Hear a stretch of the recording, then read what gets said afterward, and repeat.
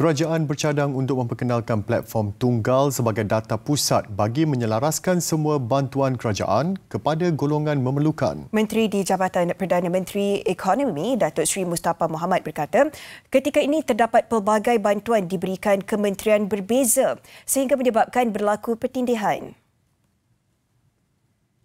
Ah, kita juga uh, bercadang untuk menubuhkan satu platform di mana akan disatukan semua sekali bantuan diterima oleh seorang penerima.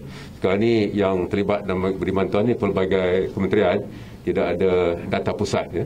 Platform itu dijangka selesai dibangunkan hujung Oktober depan sebagai rujukan tunggal sebelum bantuan disampaikan kepada golongan sasar. 25 bilion ringgit dibelanjakan setiap tahun dalam menyalurkan bantuan termasuk kebajikan, biasiswa, subsidi dan sebagainya kepada mereka yang memerlukan. Usaha pemberian bantuan kepada rakyat yang tidak bekerja, terlantar sakit dan orang kelainan upaya OKU juga dipergiatkan kerajaan dalam membantu golongan itu menghadapi pandemik COVID-19.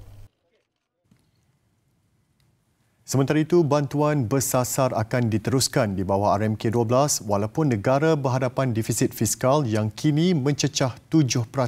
Kerajaan bertanggungjawab membantu kumpulan memerlukan seperti individu yang tidak boleh bekerja dan orang kurang upaya.